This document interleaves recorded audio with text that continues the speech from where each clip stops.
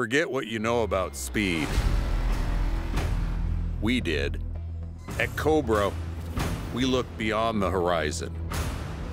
We let our imagination be the only limit. In pursuit of the fastest club on the planet, we didn't just think out of the box, we had to think out of this world. This is speed you won't believe.